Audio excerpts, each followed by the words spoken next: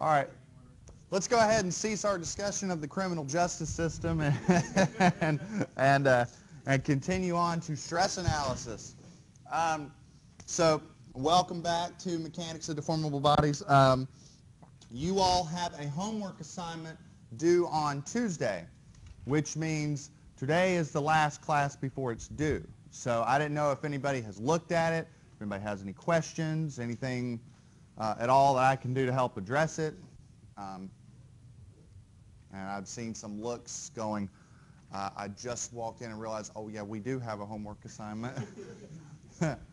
I know things. Um, so, uh, any questions at all? And keep in mind, we're not going to be here next Monday. Because, um, well, I mean, I might be around, but I am not sure. Long and short of it is, nobody's here on Monday because Labor Day. Um, no questions? Okay, all right. Keep in mind, it's due uh, 8 a.m. when you come in class and all that. Uh, should be a pretty straightforward assignment. I don't think there's anything terribly complicated about it. Okay, so I'm going to go ahead and get the sign-in sheet uh, started. Um, so let's sort of recap uh, where we are and where we're headed. I like to do that at the beginning every lecture. That way we know what's going on. So we have spent this, you know, these past few lectures trying to define two of the most fundamental concepts that we're going to use throughout the semester. Concept of stress and strain. And last time what we did is we explored, well, how are stress and strain related in terms of uh, uh, does that relationship change when you're looking at um, different materials? You know, do you have different stress-strain relationships for brass than you do for concrete, than you do for polymers, than you do for ceramics, or, or, or what have you? And so that's what we did last time is tried to explore stress-strain relationships because they're one of the most fundamental um, uh, pieces of information that we as engineers like to use when we're in the concept of design. And, and I'd argue that uh, the last lecture really completed what I would call the first big module or first big chunk of this course um, because it was all about uh, defining our fundamental topics, stress, strain, and their relationship. All right, does, does anybody have any questions about any of the stuff we've talked about up until now, just in general? Okay. So what I want to do now is I want to start getting into some of the applications uh, of these topics. So we've defined stress, we've defined strain. I want to start applying those towards some of the problems that we as uh, engineers face. And I'm going to start with what really is the most direct application with, uh, uh, of what we've been talking about, which is the idea of an axially loaded member. And that's any member where I'm, I'm taking it and I'm either stretching it or pushing on it, just either tension or compression. And that's all we're talking about right now. Now, later on, and when I say later on, I'm talking like really almost even December, we're going to talk about uh, uh, in a little more detail some additional effects related to compression because things in compression present a little bit of an, an interesting dilemma among engineers because things in compression like to undergo buckling, okay? And buckling is a whole another animal. For now, um, all we're going to do is just assume that things in tension and things in compression behave the same, uh, which is fine for the purposes of what we're doing right now. Later on, we'll start to look at, uh, at buckling, the idea if, you know, imagine taking a yardstick and pressing on it, how it sort of massively bows out. That's a, that's a concept of buckling. Okay, so let's talk a little bit uh, in more detail about an axially loaded member. So I'm talking about a member that's being stretched or being contracted, you know, tension or compression. Okay, so it's, it's really pretty easy to start to write our, our fundamental equations. It's pretty straightforward. Last time we recognized that in the linear range, uh, stresses and strain are proportional, and they are proportional by a constant that we call Young's modulus, or the modulus of elasticity, this capital E. Um, guaranteed you all will uh, uh, conduct lab experiments in either Engineering 215 or CE 321 where you take materials and you load them until failure, and I guarantee you one of the things you're going to have to determine is what is E for this material uh, or that material. now, usually now, now, hold on. One thing I will say, um, you know, E is only valid when you're talking about that linear range. And remember, when I mean that linear range, go back to the idea of the rubber band. Take a rubber band and load it, let it go, what happens? It snaps back to its original position. In, I'd say 99 cases out of 100, um, we would prefer that materials and all our designs behave that way, okay? Because if they start locking in permanent deformations, uh, their behavior becomes, a, I would say, on average, a little less predictable. So um, if we assume everything's still in the linear range, then we can say that stress and strain are proportional. Now, what about stress? Let's take each of these one at a time. Well, stress, we've already defined that for axially loaded members. That's just P over A. Taking the load divided by the, the, the cross-sectional area. Now, strain, strain is the change in length over the original length, right? So it's just a plug and chug, all right? So replacing up here stress with P over A, replacing strain with delta over L, rearranging. And what's in that box is a pretty basic, straightforward expression. If I have some bar made out of some material, just for the sake of discussion, let's say this bar is made out of steel, and it's yay long, and it has a cross-sectional area of about, uh, you know, yay wide or what have you, and I apply some force to it, I can tell you how much that bar physically stretches. PL over EA. Pretty straightforward.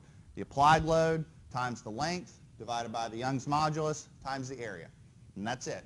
It's pretty straightforward. Okay? And that is a fundamental equation uh, in this course. Okay? I can almost guarantee you when uh, exam one rolls around, this will be on your formula sheet. Guaranteed. All right. So far, so good? Now, of course, I have to be a little, uh, or make things complicated. Um, this expression is fine as long as two things remain constant, your load and your area, okay? Now, area is pretty straightforward, okay, to, to understand. What if you have a bar that looks something like that? The bar is not, it's not what we call prismatic. When I say prismatic, I'm saying that if I cut a section here versus cutting a section here or cutting a section here, it looks the same. That's not the same with a bar like this. The bar is tapered. The bar is getting bigger or smaller depending on what direction you're going. So area is a variable. That's very, very, very possible. Okay. Another possibility is that the load changes. Now, that one might not be as easy to understand, but I've got an example coming up here in a little bit that will, will clarify that when, when the load can vary. But if you're dealing with a situation where the, either the load varies or the area varies, you have to look at this from a differential standpoint. You know, if I cut a section now I look at either end of that section, I've got a little bit of an issue because on either end of that section, I've got a different load and a different area. And they vary by a differential amount. So if I'm looking at the displacement of this little you know, differential element, that's great, but I want the displacement or the deformation for the whole thing. That leads to an integration. Okay, so I, I don't want to um, scare you away, but we are going to see a little bit of calculus today. I hope everybody's okay with that.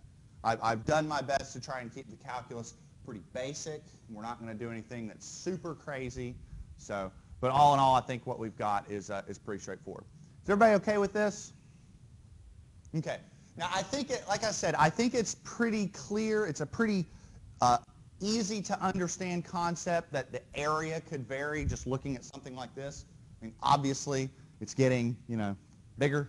Um, but the load varying, that might not seem reasonable. I mean, if we're, you know, if, if Austin and I are in a tug of war and he's got a, a rope, a one end of the rope, and I've got another end of the rope, and I'm pulling 20 pounds, it's 20 pounds everywhere uh, uh, along the rope. The load doesn't really vary. However, there are some very clear instances where it could vary. Okay, let's take a look at this example. Now, right off the bat, you're probably looking at some of these numbers and going, what the heck? Because I've got a bar that's 5,000 feet long. That's, uh, that's pretty long. Okay? But there's a reason for that because I, I, I really want you to conceptualize what's going on with this. Okay? So I want you to imagine in your head some piece of steel. Has anybody ever, I, I've got the feeling at least most of you have interacted or seen rebar before in your life. Am I correct? Okay. All right. Now, does everybody in this room think they're strong enough to lift up a piece of rebar that's, let's say, one foot long? Like that? You can do that, right? About two feet long. About 5,000 feet long.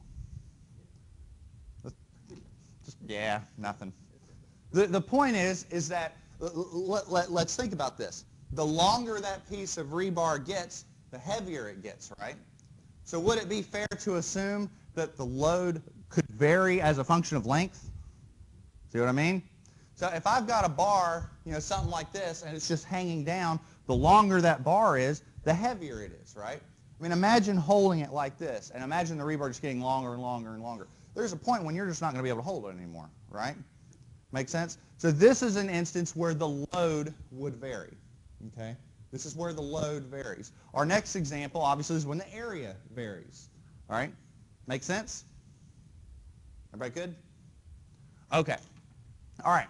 So let's take a look at this example and let's take our time with it. Okay, so we've got a bar that's being, you know, fixed on some roof or what have you, or you can imagine just holding it and, you know, holding it down. The bar is really long.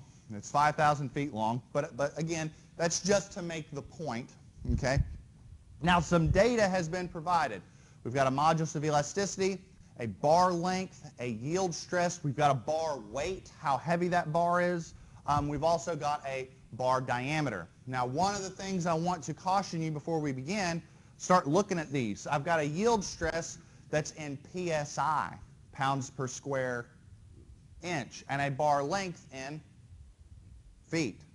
We've got different units, so make sure you're cognizant of that. That's very possible in the world of metric as well. You can have uh, bar lengths in meters, and you can have displacements in millimeters. So make sure that you're cognizant of that as well.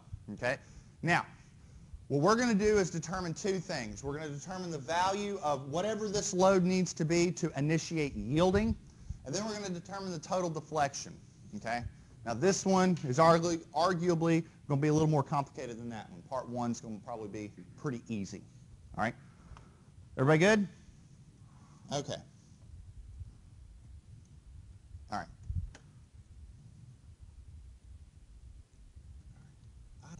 Goodness, it's 76 degrees in here.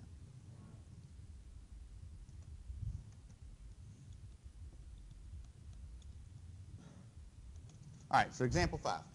All right, so first thing I want to do right off the bat is I want to see if we can write down some of these variables, okay? So let's start off. That modulus of elasticity, that's E, right? So maybe what I'll do is I'll say something like given information.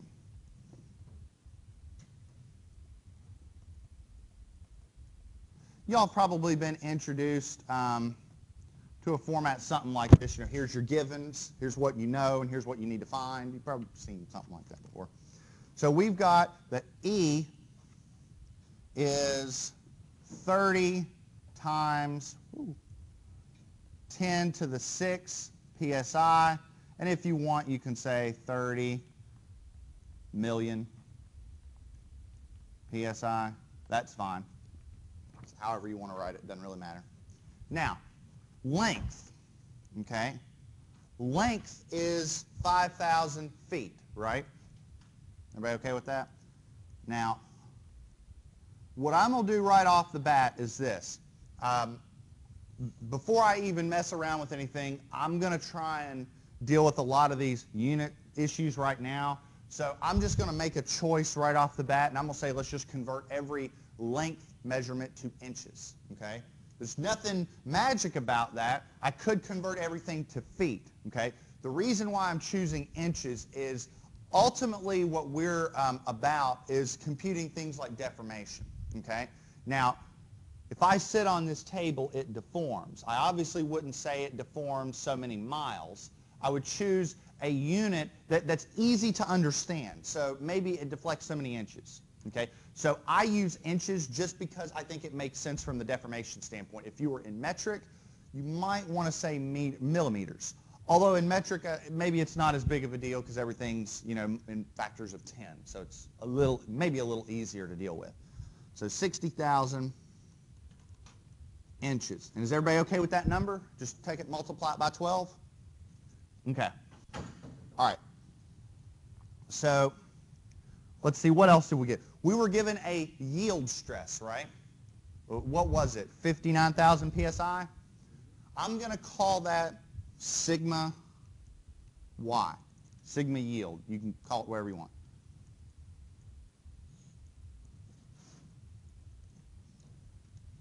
That's a pretty um, solid yield stress. Most, like, and I go back to rebar. I apologize to you mechanicals. A lot of my examples are going to be related to civil because I'm a civil engineer. But a lot of rebar that we use is grade 60, and we assume its yield stress is 60,000 psi. So pretty reasonable value. All right. Now, we also have a weight of the bar. Okay. And we'll say that the weight of the bar is 0.167 and it's what? Pounds per foot. Okay? So pounds per foot. Issue there because we've gone ahead and done and converted everything into inches. Okay? So maybe what I ought to do is take this and convert it into pounds to inch. Now, if I wanted to convert this into pounds per inch, what would I do? I divide by 12. Because if something weighs so many pounds per foot, if I'm asking how much, how many pounds per inch, I'm, I'm going smaller. Make sense? You know, something weighs 100 pounds per foot, and only weighs about 8 or so pounds per inch, something like that. And so you divide that out, you'll probably get 0.014, about like that. Close enough for government work. Now, we also have a diameter of the bar, and that came out to be a quarter of an inch. So in rebar, that'd be number four.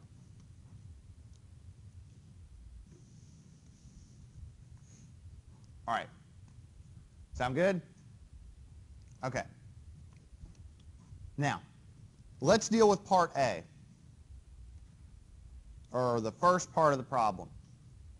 So, what's the first part of the problem asking? The first part of the problem is asking how much does that Q force have to be at the bottom to cause that bar to yield, right? Okay, so let's sort of let's sort of think about this. Let's imagine that that well, I tell you what. Let, let's go back. Let's go back even further. Okay. We want to know how much force it takes to cause this bar to yield. Okay. Now, what does it mean for that bar to yield? It means that its stress has reached what? Which is 59,000 psi. 59,000 psi is that upper limit. Once we cross that, we've said it yields. Okay? Now, to generate 50,000 psi, or 59,000 psi, to generate that much stress, how much force am I going to have to apply? Let's think about that. I mean, how do we compute stress? We say it's P over A. So if I'm asking how much force is required to generate so much stress, I take stress times area, right? So I propose to you that therefore, if I want to determine the force that is required to yield the bar, I would say it is the yield stress times the area. Does that make sense? Pretty straightforward, right? Now, what's the area? We don't have that, do we? But what do we have? We have the diameter. We know the diameter of that bar is a quarter of an inch. So if we got a round bar that's a quarter of an inch in diameter, how do we find the area? Pi r squared or pi d squared over 4. It's just the area of a circle, right? So we need to determine the area of that bar. So we'll say area, and if you're wanting to keep track of everything, you put area of the bar just to make sure you're keeping track of everything. Pi over 4 d bar squared. And I, I don't use the pi r squared very much. I just use this because if I wanted to use pi r squared, I'd have to take this, divide it by 2, and then do some grunt work. Here, I can just do it all at once. I'm lazy. Let's, let's hit hits of the button on the calculator. So pi over 4, 0.25 inches. What does that give you? Oh, whoop. Squared. He's making us do math in the morning. Oh, no.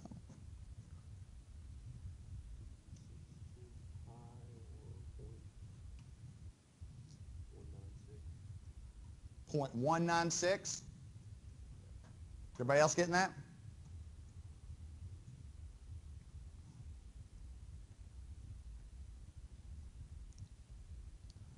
I'm gonna make I'm gonna in, in, in engage in a pattern where he gets an answer, somebody else seconding that answer. Motion carries. Okay. Okay. There we go. All right. Did you swear it? See, I knew it was. I was just. I'm making you all get involved. See.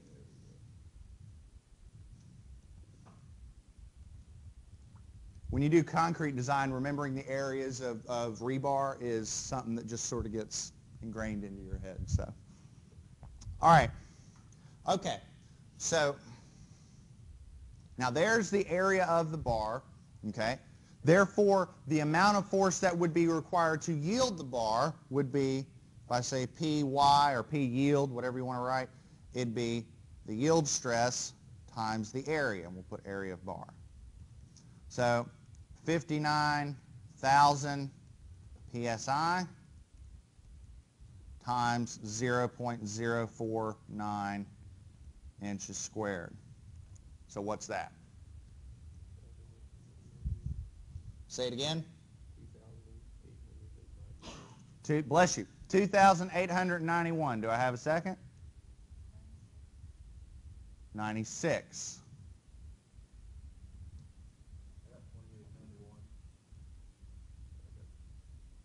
Okay.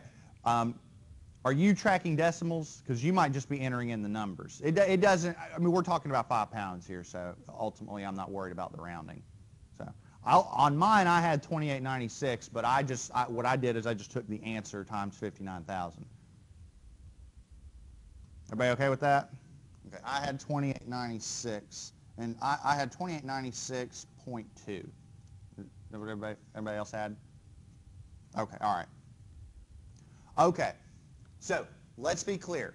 If I take this piece of uh, bar and I yank on it and I hit a value of 2896.2 pounds, at that point I've yielded that bar. Make sense?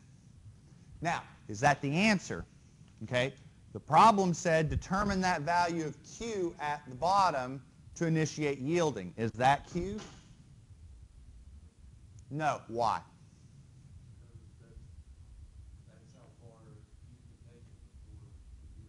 Yeah. Well, what other, well, let me ask it like this. What other, is there another load on the bar already? Yes. What is it? It's already experiencing its own self-weight. So we got to take that out. You see what I mean? Like, think about like this. If I got a rope, and that rope will fail if I put 50 pounds on it, but it's already got 20 pounds on it, you see what I mean? I've got to put an additional 30 before I fail it. You know what I mean? It's not another 50. It would go past that, right? So we got to figure out how much load is being generated by that self-weight. Okay? So how do we do that? What do we know? We know that the bar weighs uh, 0.167 pounds per foot, right? And we know that the bar is 5,000 feet long, right? So it's not, I mean, it goes back to just basic, you know, stuff you learned in statics. If I have a load that's two pounds per foot and it's 50 foot long, it's 100 pounds, right? So what I'm going to do is I'm going to determine what is the weight of the bar. I'll do it, you know, capital. Weight of the bar is that unit weight times the length. And here, you can plug in whatever number you want as long as you're being consistent. And I was a little fast and loose with this up here because I just sort of put pounds. But I always want to make sure that I'm being consistent with my units. I mean, look up here pounds per square inch times square inches. That is pounds, okay? So I could put pounds per feet times feet, or I could put pounds per inches times inches. It doesn't matter as long as I'm being consistent. So I'll put my original values. 0.167 pounds per foot times 5,000 feet. All right? And what are we getting for that?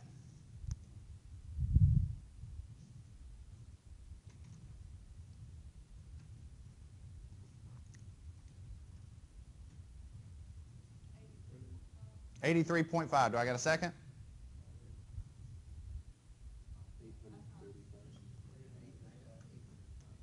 Eight hundred and thirty-five? Is that second? All right, there we go. See, I'm getting y'all active. It's 8 o'clock in the morning, and y'all, there we go. 835 pounds. So that bar weighs 835 pounds. I mean, I know I'm a, a pretty physically intimidating guy, but I don't think I could lift 835 pounds. It's a joke, not a very funny one. All right, so it takes about 2,900 pounds to fail that bar, but I've already got 800 pounds on it due to its own self-weight. So how much force do I need to put on the bottom? Therefore, Q is 2896.2 pounds minus, well here, let me, let, hold on, let me be consistent with the way I'm doing it. So I'm going to say it's the yield force minus that weight. I'm putting those little serifs, those ticks on the W so you know I'm talking about force, not that lowercase. So.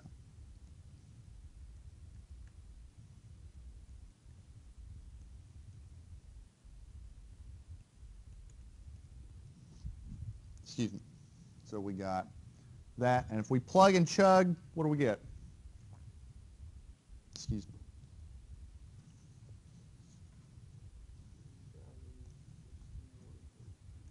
Two thousand sixty-one point two. I got a second? There we go. So there, there's our answer.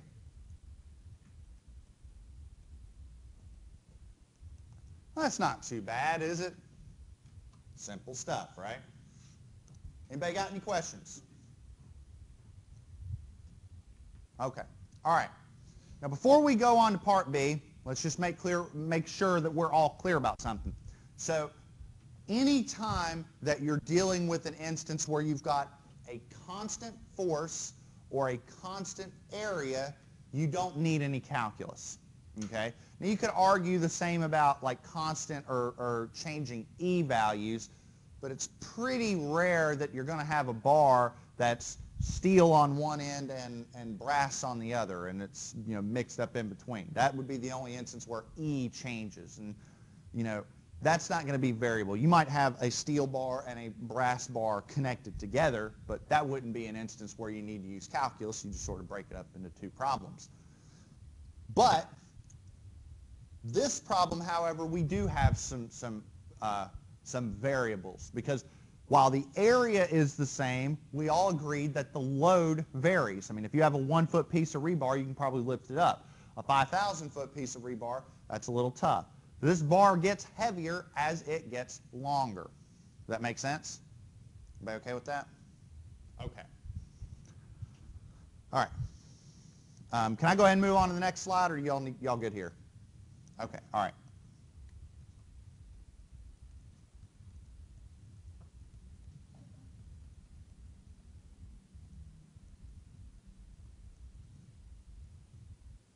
Okay, part B. All right. So we agree that as the bar gets longer, it gets heavier. So what I'm going to do is any time that you've got a force or a shear or a moment or anything like that that you're unsure of, always go back to that secret weapon of, of, of engineering, which is a samurai sword or a lightsaber if you happen to be a sci-fi fan, which somebody had an R2-D2 uh, uh, tone on their phone, so somebody's a sci-fi fan in here. So what we're going to do is we're going to cut a section. Now,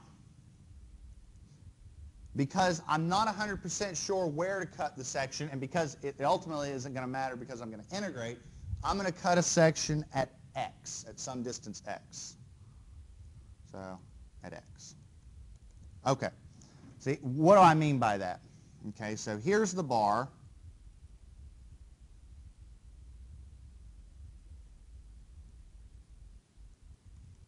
Okay, so there's the bar. And I'm going to cut a section right through here. All right? Now, if I cut a section through that bar right here, what's going to happen? You know, what's going to happen? It's going to fall down. So let's look at that little piece that's going to fall down. Okay? Let's look at that little piece that's going to fall down. So, you know, I'm going to zoom into that a little bit. Oh.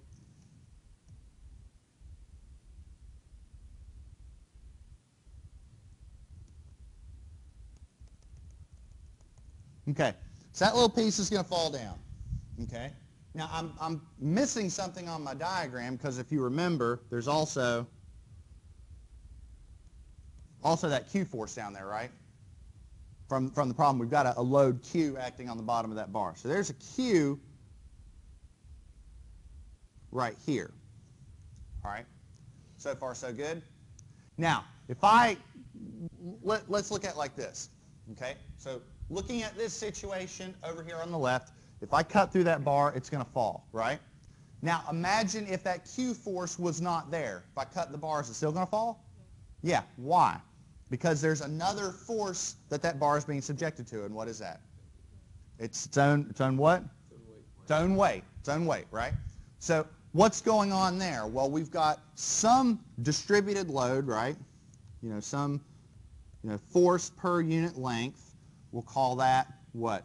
The weight of the bar times some distance. And what is that distance? X right? We cut that at some distance, some random distance x, right?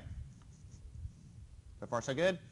Now, again, we cut the bar, it falls down, okay? It falls down because we've got these forces acting downward. But equilibrium tells me that in real life it's not falling down, that inside the bar at that point, there must be some internal force, okay? some internal force here. I'm going to erase. I'm going to use different color. We'll use black. There must be some internal force inside the bar. We'll, just to be consistent with the unit, uh, the notation, we'll say some normal force. Now, I don't know what that is right now, okay? But there's something going on inside that bar at that point where I made the cut to keep it upright, okay? It goes back to the same example here. If I'm sitting on this table and somebody cuts it, I fall down. Okay? The reason why is right here, there's some forces inside this table keeping me upright. Okay? Now, how do I find out what that force is? I just use equilibrium. And I recognize that the sum of forces in the y direction must be zero. So I'm going to sum forces in the y direction. Everything going up's got to equal everything going down. I look at my free body. What do I have going up? I've got this N force, this N of x. All right? Now, what do I have going down? I've got Q, and then I've got this, which is the weight of the bar. Remember, that's a force per length, you know, two pounds per foot times however long it is. So I'm going to say I've got Q going down, then I've got the weight of that bar times x. Make sense? And that's the variable. The longer that length is, the heavier the load. Sound good? All right.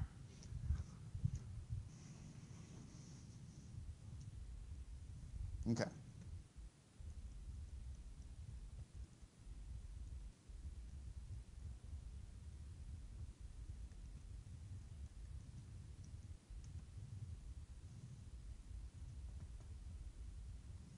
So far, so good? Not too bad, right? All right.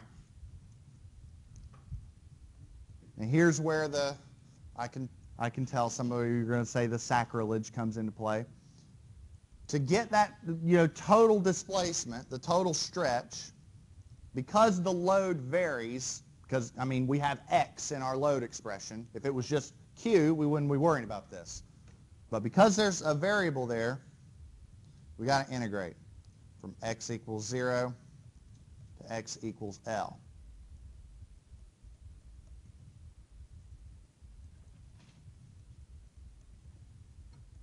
Which, by the way, let's just go back to calculus. Let's say that we're, you know, you know, just sort of, just to clear everything up, all right? So I'm going to sort of, you know, engage in a little sort of calculation on the side over here just so we're all clear okay? If we were dealing with an instance where, or, you know, I just want to make sure everything's consistent. I've been saying that you need to integrate when you've got variable loads or variable areas. But what if they were constant? What if this area was in fact a constant value, a constant A? Okay, and what if uh, the this normal force was a constant value as well? Okay, Let, or that's dx. Let's go back to fundamental calculus. All right, let's see if you all remember. What's the integral of 2 with respect to x? The integral of 2. 2x, right? So if this is constant and this is constant, it's like taking the integral of 2, right? And the integral of 2 would be 2x. So I propose that to integrate this, it would be px over EA from x equals 0 to x equals L, right?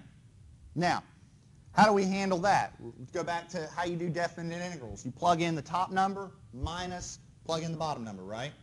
So we would get PL over EA minus what? Zero. So we would get this, right? So this formula works if everything's constant. There's just no point. You see what I mean? Everybody okay with that? The only reason that you would do the integration is if either your area varies or your load varies. Okay? Sound good? Okay. All right. Now, I'm going to have to go on to another slide here, but I'm going to do a little bit of plugging and chugging while I can. Okay. So let's try and keep this simple. All right? When I do integrals, the first thing I like to do is keep it simple. So if there's any constants I can pull out, let's do that. Can I pull E out? It's constant. What about the area? Can I pull that out? What is the area for this bar? It's just a number, right? We're not dealing with a problem like, hold on, let me go back. We're not dealing with a problem like this, where, you know, if I cut a section here versus cut a section here, I get a different area, all right? For this problem, the area, the, you know, the area of that bar is the same here as it is here, as it is here, as it is here. It's all the same, okay? So I propose that for this problem, I can pull the E out and I can pull the A out. Make sense? All right. Because what is A? It's what, 0.049? Something like that? So it's the same. All right? So I propose that it's 1 over EA times the integral x equals 0, x equals L of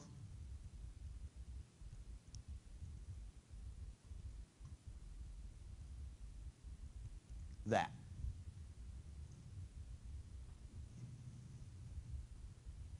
Move my mouse cursor.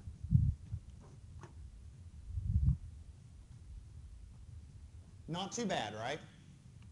Pretty straightforward? Okay. All right.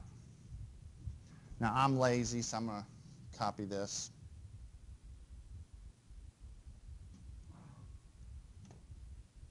Everything, everybody got everything up here?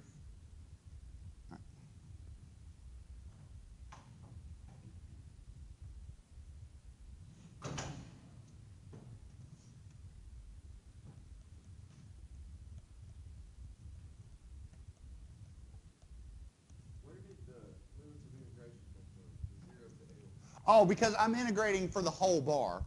Okay, that's, that's a good question. Okay, so what I've done is this. Um, let me go back to the PowerPoint.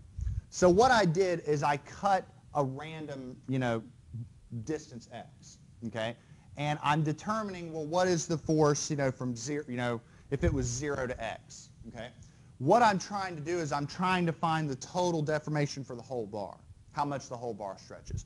So you know, if I was talking about, you know, a, a, really, really tiny sliver, it wouldn't deflect very much.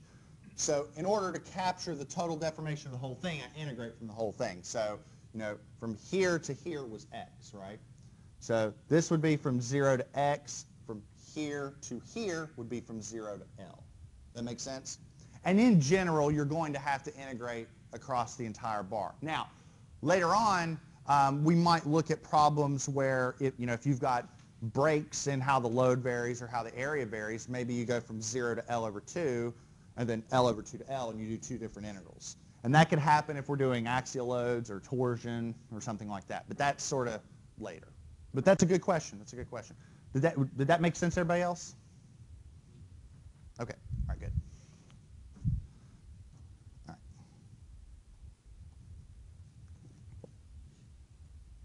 right. Okay. So let's go back to calculus. Let's see what we can come up with. 1 over EA. All right. Now, we have the integral of a constant times x. So the constant gets pulled out. What's the integral of x? See if y'all remember. 1 half x squared. Remember that?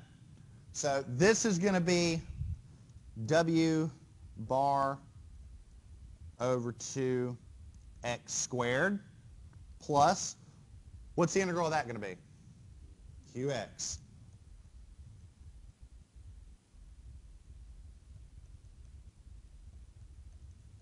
Right? Plug in the top number minus plug in the bottom number. Now what's going to happen when we plug in that bottom number? Zero everywhere, right? So plugging in the top number, all we're going to have, or, or, you know, all we're going to have is this. It's going to be 1 over EA times W bar L squared over 2 plus QL. So here, let me move that down a little bit. Make sense? All right. This is a nice, pretty plug and chug equation. I can now determine under that load Q, which we already figured out, how much that total bar is going to stretch. The big thing is making sure you're being consistent with all your units. Okay? Sound good? All right. And if you want, we can, we can simplify this up a little bit by saying this.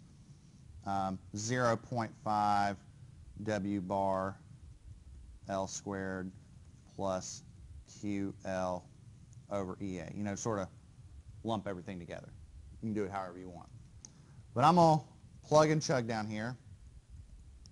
So what do we get? Delta equals 0.5 times. Now the weight of the bar, what's the weight of the bar? It was 0.167, what, pounds per foot? Something like that? But maybe it, I'm got a lot of stuff going on, maybe I need to make sure I'm diligent. Let's do pounds per inch. So which one was that? 014. Now, when you're doing your homework, it might be, you might think, I don't have to write all that out. I'm making it a point to write out every single unit on every single value so that when we get our value at the end, we see what, where the answer is coming from. All right, the length is what? 60,000 inches, there we go. Squared plus Q ended up being 2061.2 pounds and uh, L is 60,000 inches.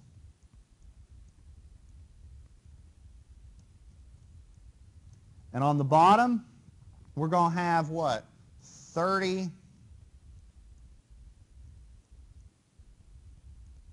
million psi and the area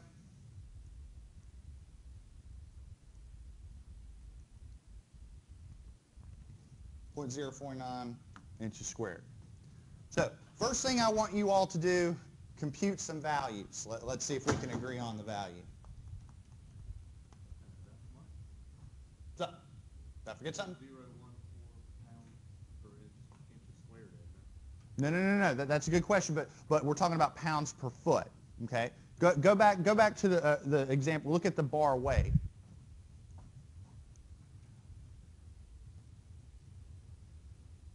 See what I mean? It's because we're talking about how much it weighs per foot.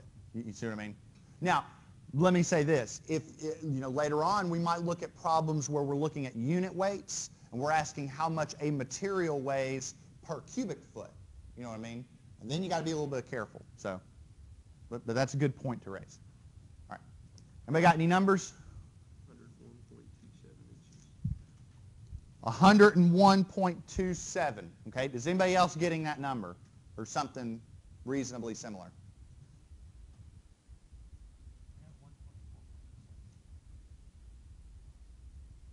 Okay. Let's, let, let's have some other. Okay. All right, a couple things. Make sure you're squaring that. Okay. And make sure you've got the correct number of zeros down here, here, and here. So I'm going to hang out for a little bit, but I'm going to tell you what I have for the value. I got 101. Yeah, I got 101 too. I left out the 9. I mispressed it as well. Nine. Oh, oh. Let's see. Now, you getting that? Who else? You got that? Yes, sir. You, oh, you got it. You got it. Everybody good? That, sure. Uh, I, I will concede the point two. Now, what are the units? Inches. Now, this is where being diligent with writing your units comes into play because let's, let's sort of do a unit analysis down here on the bottom for what's going on with these units. Let's look at the bottom. Pounds per square inch times inches squared. So PSI times inches squared. On the top, pounds per inch times inches squared plus pounds times inches. Right? Okay? Let's sort of simplify that out. What's going on on the bottom? What's PSI times inches squared? Pounds. All right? And then on the top, we've got pounds times inches. What about over here? Pounds per inch times inches squared, that's pounds uh, times inches. So we've got pounds under pounds times inches. So see how we're getting the inches? That's one way of looking at it. Another way of looking at it is we're calculating how much it stretches. We better get something like inches, right? This is why I'm, I mean, I, I've seen it before. You know, so I don't feel like writing the pounds and the inches every time. And then they, you know, they don't write down the right value and they get the wrong answer. So I'm doing my best to be pretty diligent with that, okay? Any questions? Not too bad, right? Isn't too shabby. So far, so good? Okay. I'm going to leave this up here for, y'all need write any of this out? All right. So just so we're clear, that's the answer to B.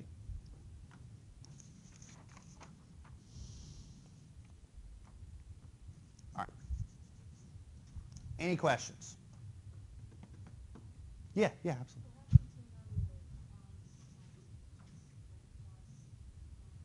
Oh, oh, okay. Well, if you've got pounds when I'm doing like a, a unit analysis, so, so the idea is if I, um, if I have two pounds and I add three pounds, whatever I get, it's pounds. You, you see what I mean?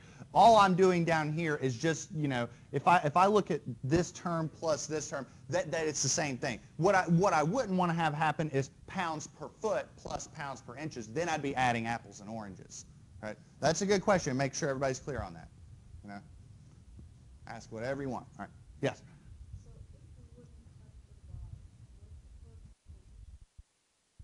Well, um, okay. So a, a couple things.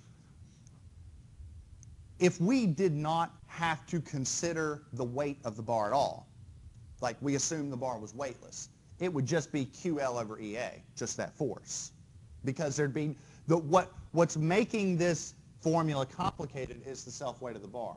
If we don't consider that, then this is zero and it's just QL over EA. But in that instance, we don't even need to do the integral. It's just you know that that constant formula that was provided earlier. Um, the reason that we cut the bar is because of that unit weight. So there's the way you're asking, there would really be no way to determine that how much that stretches if you've got to consider that weight without cutting a section. Does does that make sense? Okay. Does that, does that make sense to everybody else?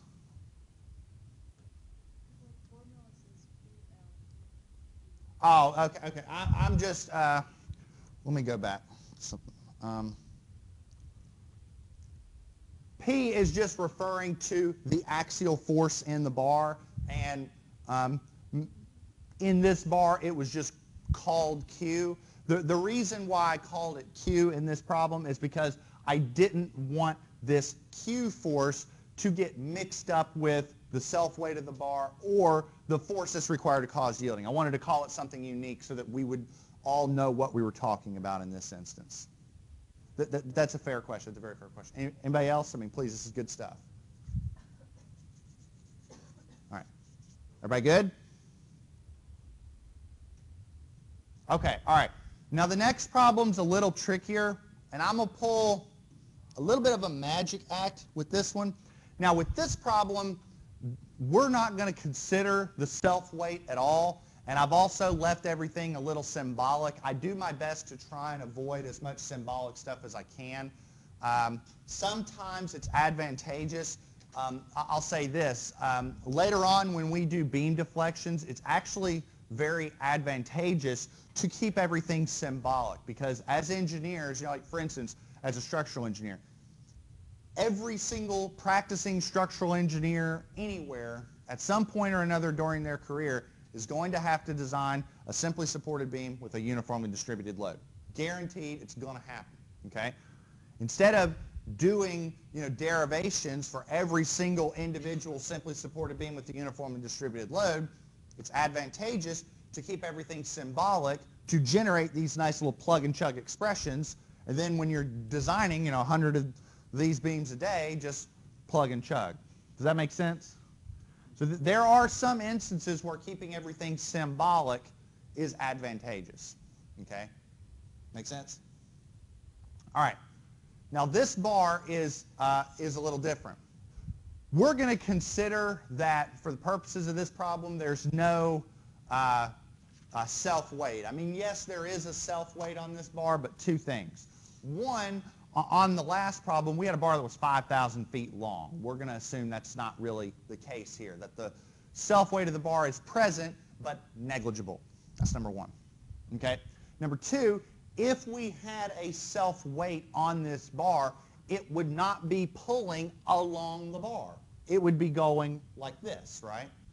And in that instance, we would not be dealing with an axially loaded bar. We would be dealing with a beam, which we will do beams, but later. Okay? Make sense? So for right now, we're just not going to worry about it. We'll deal with that later. Okay. So in this instance, the axial load is constant. That's not the problem. The problem is that the area varies. So we got to handle that a little carefully. Okay. Now I'm going to make a, a simplifying assumption in this problem, and then I'm going to ask what happens if I did it a little differently. But that'll uh, that'll make sense here in a little bit. Okay. All right. Sound good? All right.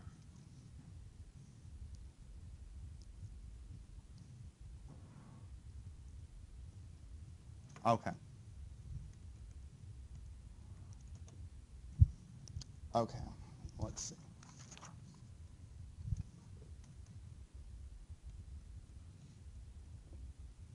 All right.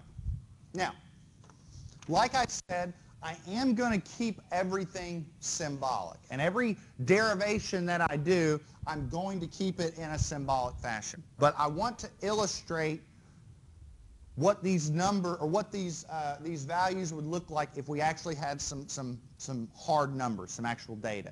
So I'm going to make up some numbers right at the beginning, but ultimately we're going to try and keep everything symbolic. This is just to sort of illustrate what's going on. So let's just uh, assume some data. And there's nothing magic about this. It's just to uh, illustrate what we deal with later. I mean, like I said, there are advantages to keeping everything symbolic, but we're engineers, not mathematicians. So I think seeing some hard numbers makes our lives a little easier. So we'll just say dA is one half of an inch and dB is an inch. We'll say that P is 20 kips. We'll say that E is 10,000 KSI. And we'll say that L is 5 feet or 60 inches. Now, like I said, um, we are not, um, our ultimate goal is just to derive the formula. We're just going to illustrate this here in a little bit. Okay. Sound good? All right. Now, first off, if I cut a section at any point along that bar, what's the axial force inside that bar? Let's go back to it, make sure we're all clear on what's going on. All right. If I cut a four or cut a section right here, what's the force inside that bar? Well, I got P going this way, so I got to have P going this way. It's the tug of war problem. If I'm in a tug of war with somebody and you cut here, here, here, here, here, it doesn't matter. It's still the same force inside that rope. The only difference is that the rope itself is getting bigger. That's what's going on here. Sound good? Okay.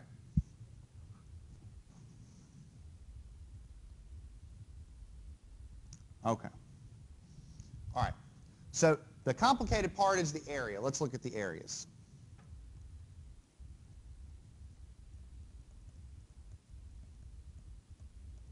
Okay. Now, first off, before we go anywhere, we can easily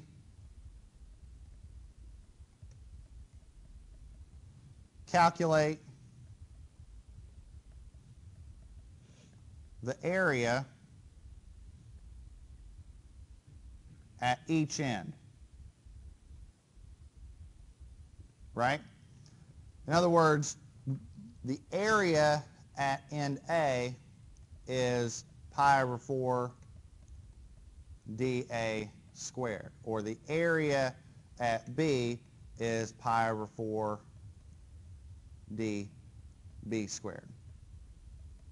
Fair point?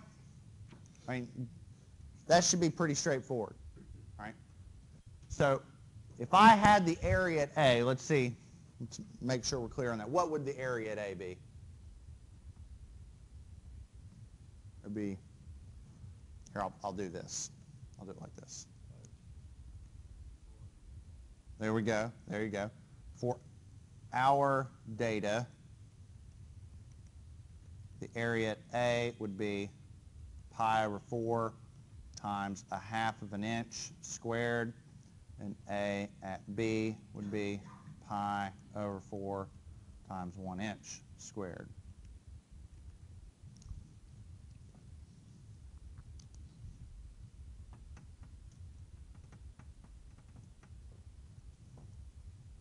All right. So for our data, that'd come out to be what? There we go. And 785. Everybody okay with that? So here, here's my point. There's going to be a lot of symbols floating around. I wanted to come up with some starting numbers so that you all could identify, okay, is this a constant or is it a variable? Because seeing a sub a, you might think, well, that's a variable. No, not really. It's a constant because given some data, you know, data that define the problem, you can easily calculate that. So it doesn't vary along the length. Okay. Sound good? All right. Now, here's what we're going to do for this problem, and then probably sometime tomorrow we'll, we'll make another assumption and look at what happens. So I'm going to say for this problem,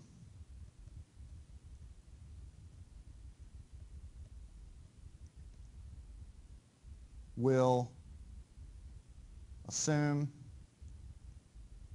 the area, and I'm going to highlight that big, the area linearly varies. Okay. All right. There's a reason why I'm doing that, but let me explain. So what I'm doing is I'm assuming that the actual area of the bar Obviously, the area varies, right? It gets bigger as we go down the bar. What I'm assuming, though, is that it's the area that varies, okay? Later on, I might ask the question, well, what if it's not the area that varies? What if it's the diameter that varies? Say the area moves very linearly if the radius does. Y- Exactly, it's the diameter, okay? I'm doing that for a reason, okay? You'll, you'll see this later. It, ultimately, it's going to change our integral a little bit, okay? It's not, I mean, for the purposes of what we're doing, I just want you to understand the process, but later on I'll show you what happens if we actually went through and said, well, no, it's not the area that varies, it's the diameter, okay? Because it changes your expression, okay? Now, if the area linearly varies, the key word is it's a line, okay? A line. What do I mean by that? Here's the bar, right?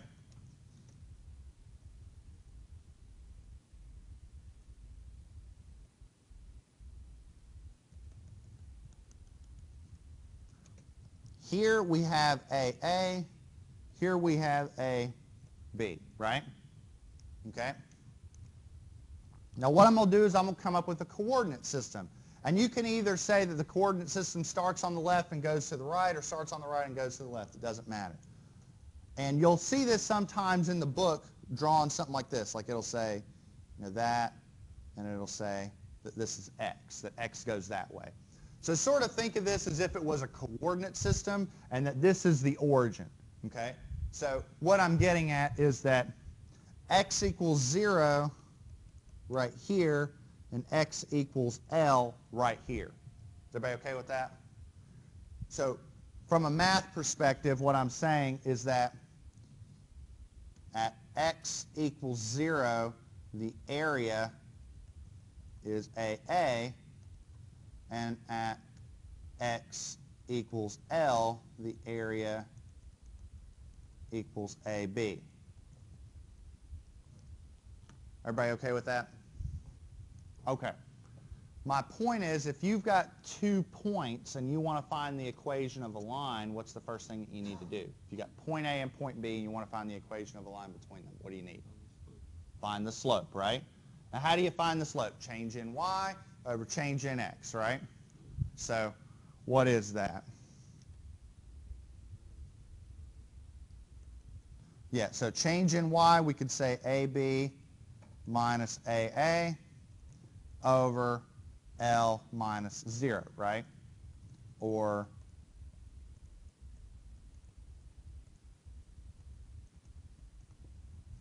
over that. So far, so good? Okay. Now, is this a constant value? Like, can we get a number for this? Yeah, right? Because we've got an area at B, an area at A, and we have a length, right? So technically I could say, you know, I'll put this in blue just to sort of separate this. For our data,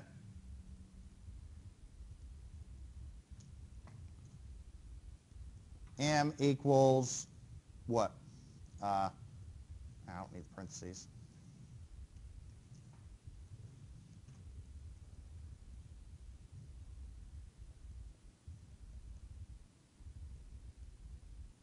over what, 60 inches?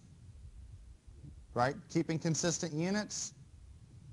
And I'm getting, I mean, it's a small number.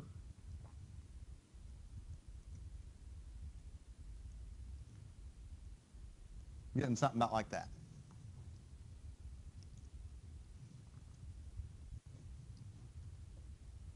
All right. So far, so good. Okay.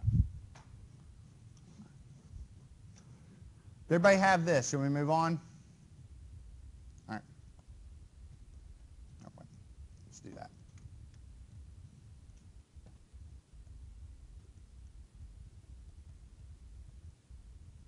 Okay. So, find the equation of a line. We need the slope and we need the y-intercept, right?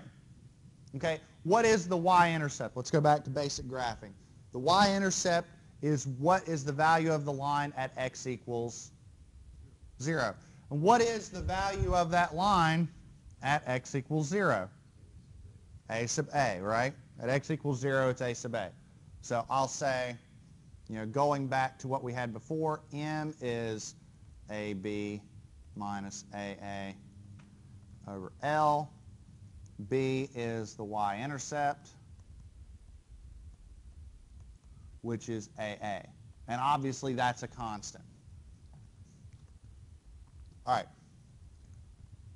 So far so good? So this is what I propose to you. Okay, this is what I propose to you. Therefore, if we want to determine how much this bar stretches, like before, it's the integral from x equals 0 to x equals L of the axial force divided by EA dx.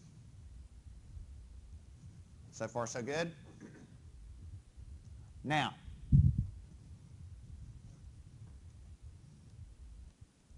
what is the axial force in this bar? Go back to the tug of war problem. P, it does not change, right? It is constant. So I propose to you that it's the integral from x equals 0 to x equals L. That top is just P. We have E.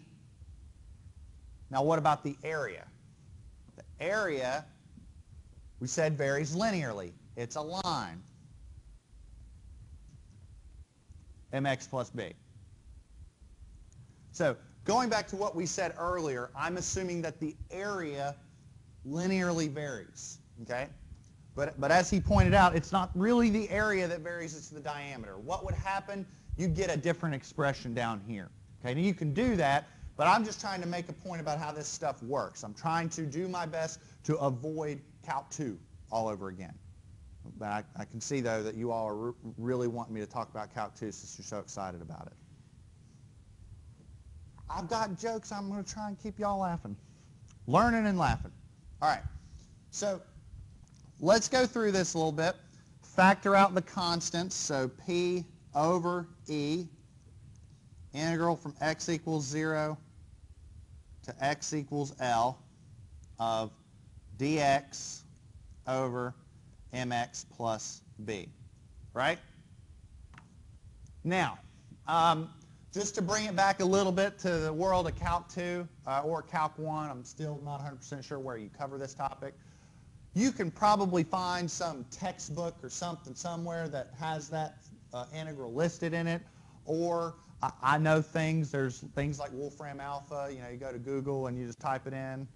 I know things. Um, or to be, to be, you know, classical and go back to the way that you probably first learned how to do this, do a little bit of substitution. Let u equal mx plus b, right? So du is what? mdx, right? Remember that? So dx is du over m. That looks like a W. Y'all remember that stuff? So therefore, I can say this equals P over E, and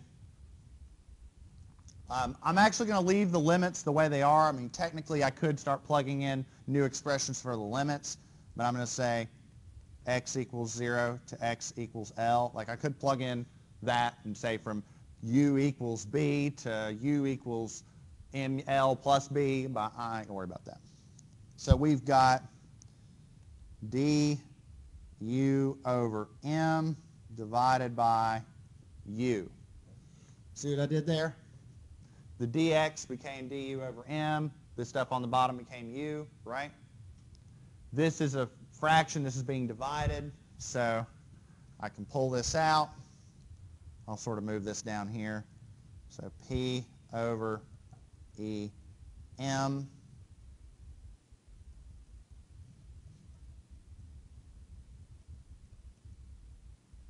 we have that, right? Now, now we're testing your memory banks. Somebody remember what the integral of that is? Natural log, right? Natural log of u. So it's the it's P over EM times the natural log of U. Oh. From x equals 0 to x equals L. So I ought to probably just go ahead and substitute that back in and say P over EM natural log of mx plus b x equals 0 to x equals L. Okay. I'm sure some of the math purists in the room are like, wait, isn't there an absolute value in there somewhere? Yeah, but keep in mind what we're talking about. We're talking about mx plus b. What is mx plus b? It's the function that represents the area. Are we going to have a negative area of the bar? You see what I mean? I mean, no, it, this is important. It's important to recognize, you know, that that, that, that really doesn't exist. So um, you can put the absolute values in there if you'd like, but it's not really going to change anything. Make sense? All right. Okay. So, starting to feel a lot like Calc 2 all over again, isn't it? I'm doing my best to try and avoid that. But the diameter one, that one gets a little different. Okay. What time is it? Okay, I can finish this up real quick. All right. So what do we have? We have P over EM. We have the natural log of ML plus B minus the natural log of B, right? And again, that's not going to be negative either because that's just the area at A. Now, right, any way I can simplify that? If you have the natural log of 3 minus the natural log of 2, what does that equal? There you go. Yeah, if you got the uh, two uh, natural logs that are subtracted, you can take the top divided by the bottom, right? So you can say, therefore, P over EM times the natural log of ML plus B divided by B. And really, that's the answer, okay?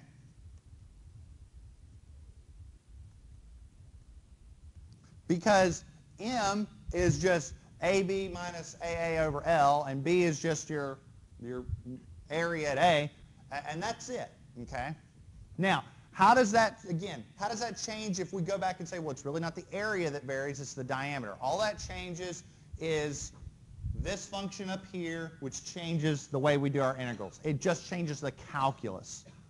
I can show you all that next time. It's not anything special. It's just I'm not in the habit of turning this into a calculus class. You know what I mean?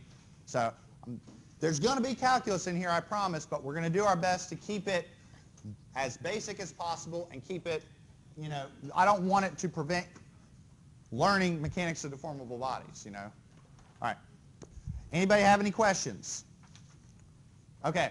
Next time what we're going to do is we're going to investigate a different type of axially loaded problem, and that's dealing with a problem that is indeterminate, which we, if you've got me for structural analysis, we've mentioned indeterminate. We're actually going to do indeterminate problems starting next week in here. So that's all I have for you all today. I will see you all next week. Y'all have a good weekend, a good Labor Day weekend, but don't forget you got homework due Tuesday at 8 a.m. Does determinant mean that doesn't move? Hold on.